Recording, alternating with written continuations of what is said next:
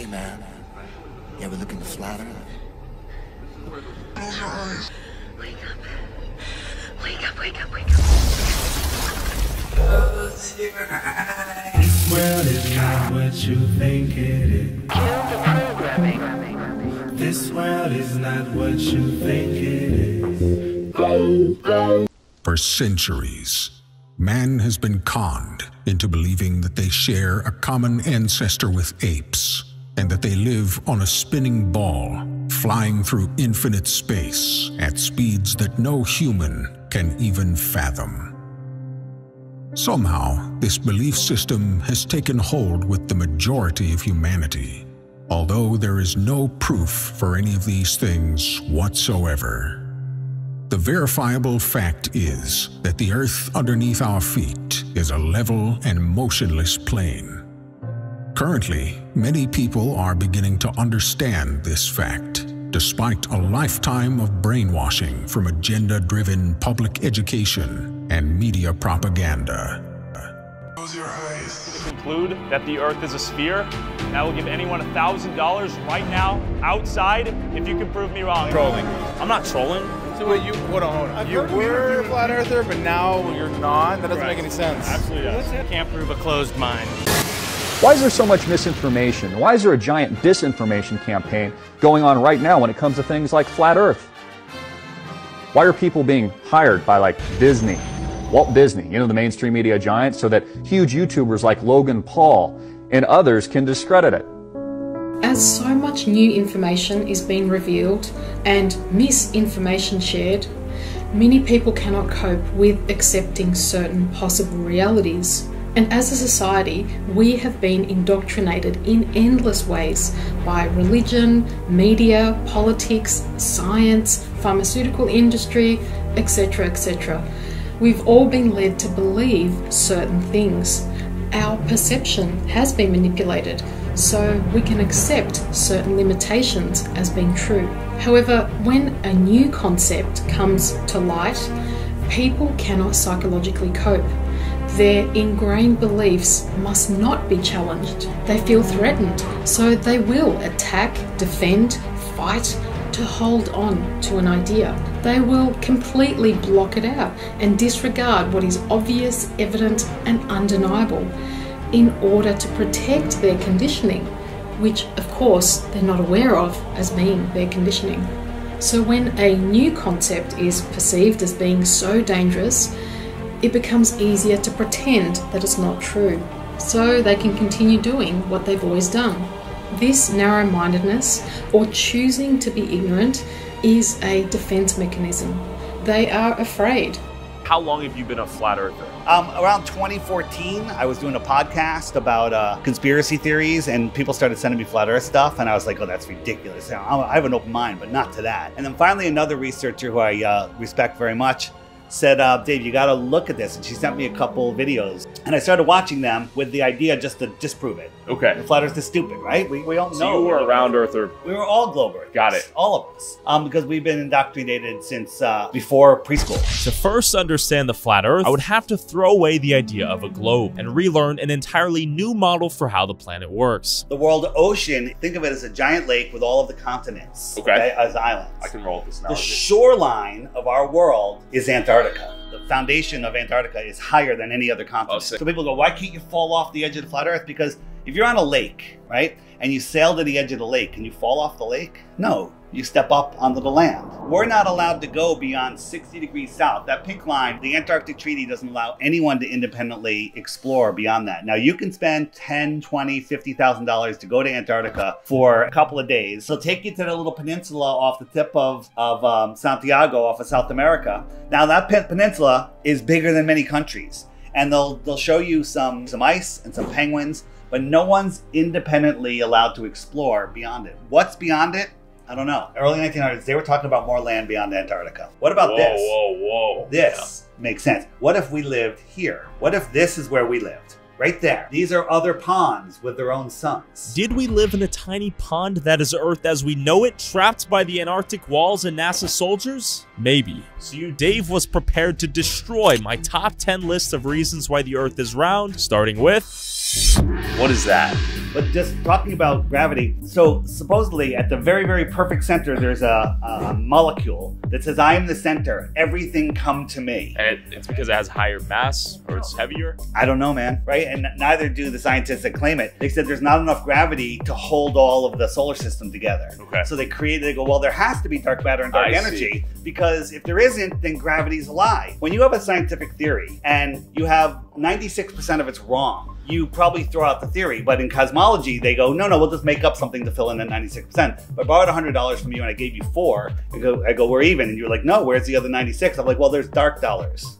Dark, dark dollars. Are you good with that? Because I understand that gravity is complete and total nonsense. That's a bold claim, though, Yeah. right, for the average person. Ships and the horizon. The horizon is the line at which the Earth's surface and the sky appear to meet. So when somebody sees a ship appear to go over the horizon, they go, oh, that's Earth curve. But if the Earth was curved, there would be a set distance that it would have to disappear. What do I mean by that? The Earth is 24,901 miles around. According to globe math, the drop is six feet at just three miles. So if you're a six foot tall person standing at the edge of perfectly calm water on a perfectly clear day, you should not be able to see the surface of that water beyond three miles because it's drip dipping over your physical horizon at three miles away. But we have pictures where we can zoom in, we can see an oil rig at uh, 17 miles away, whatever. We see many things, but we can see the surface of the water beyond the oil rig. When the water is at complete and total rest, it's perfectly, measurably, testably, provably flat. We can watch a ship go over the horizon um, and it, it looks like it disappears, Yeah. but in reality, we can zoom back in and bring those ships back into view after they completely appeared to disappear. Things disappear because of the angular resolution limits of our eyes. Interesting.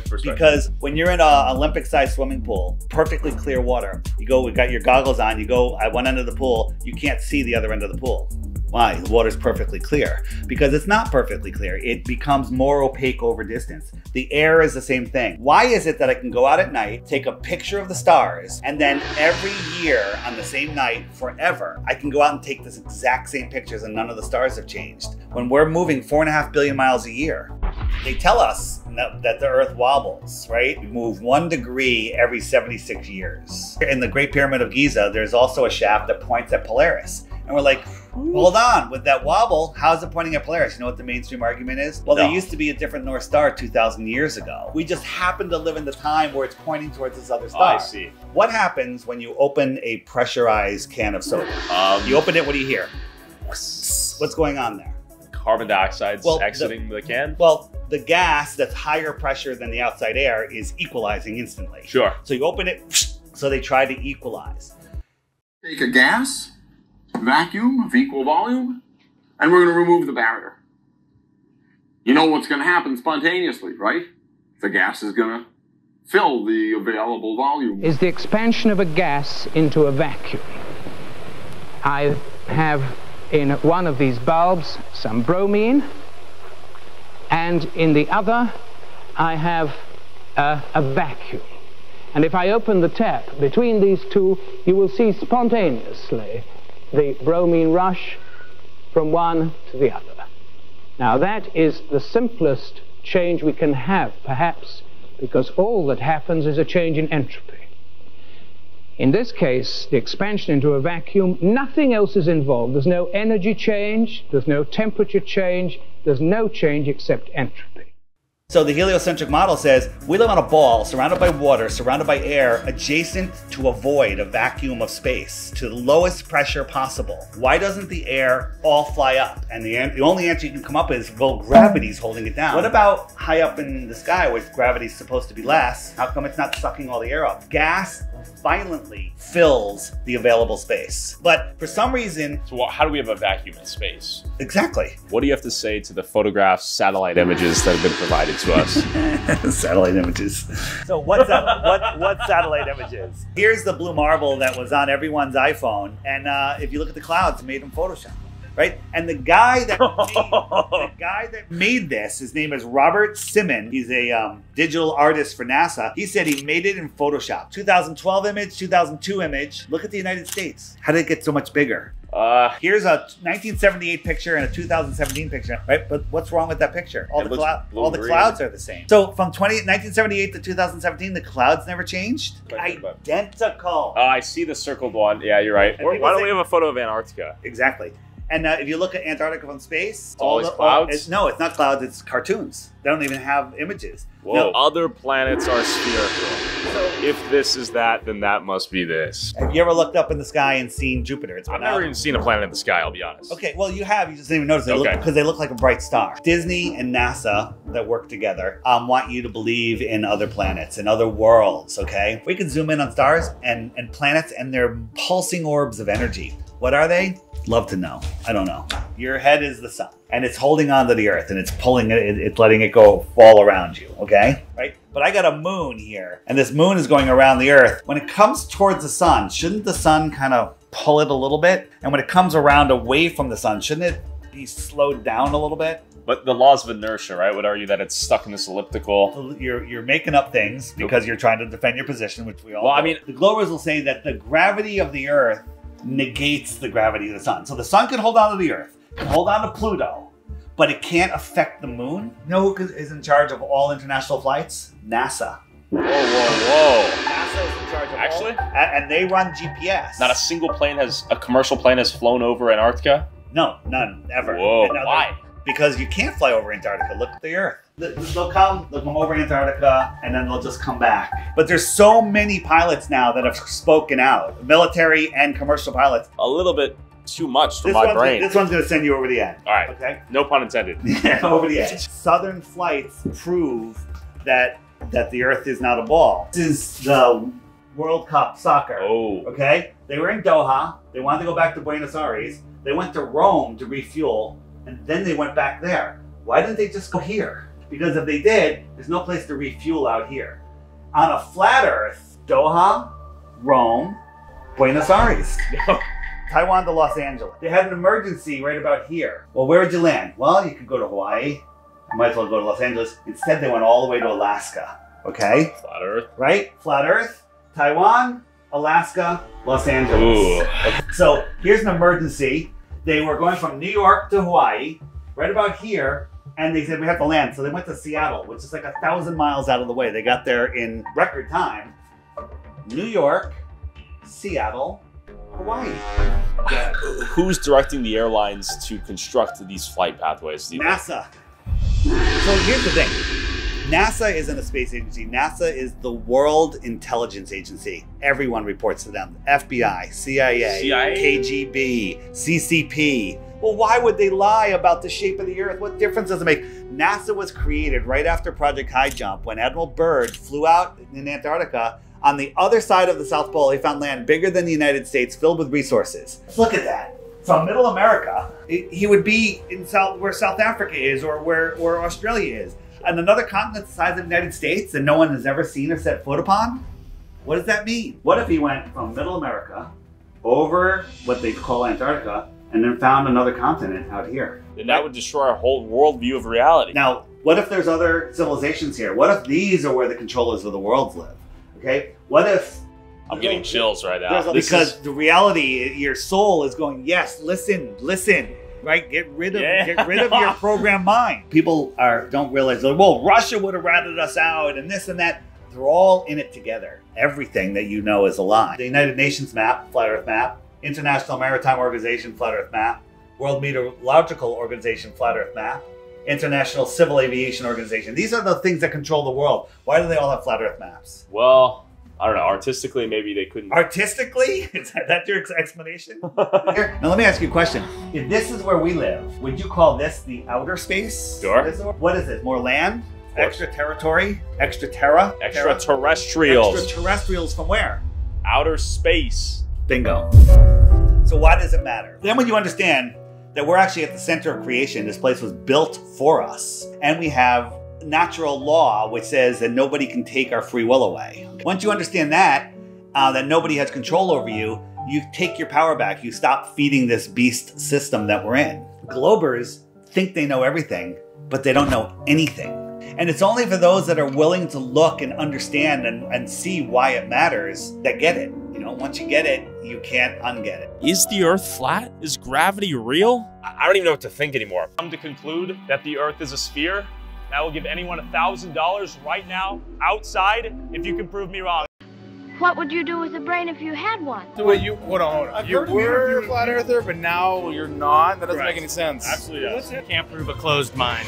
I was gonna let you pass, but that was kind of a crazy move you did in there to get some good footage in your video. Are you gonna end with where they can find more information, or are you gonna leave that? All right, tell the viewers. If you want more information, go to flatearthdave.com. Don't believe anything that you heard in this video from him or from me or from anybody else. Go verify it yourself. Why is there so much misinformation? Why is there a giant disinformation campaign going on right now when it comes to things like flat Earth?